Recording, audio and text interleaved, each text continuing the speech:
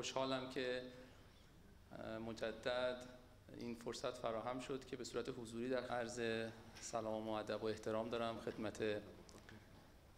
همچنان ایالات متحده هیچ فرقی با دوران ترامپ در خصوص اعمال تحریم ها نکرده و این واقعا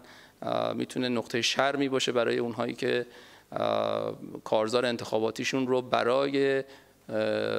فاصله گرفتن یا بر مبنای فاصله گرفتن از سیاست های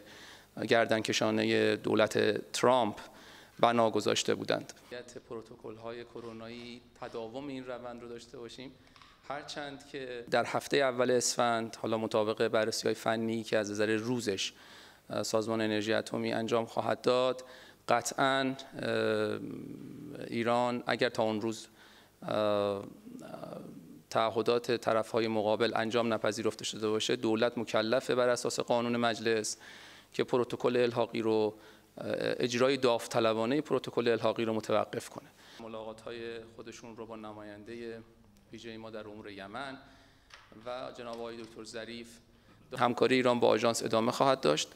قطعا جمهوری اسلامی ایران طی نامه ای همه موارد رو از قبل به اطلاع آژانس خواهد رسوند همون که تا الان همین کار رو کرده و نهایت هم همه توجه بکنن که تمامی این اقدامات ایران برگشت پذیر هستند. به سادگی هم برگشت پذیر هستند. به شرط اینکه طرفهای مقابل به تعهدات خودشون عمل کنن سفر کمک کنه برای حل و, حل و فصل بهتر موضوع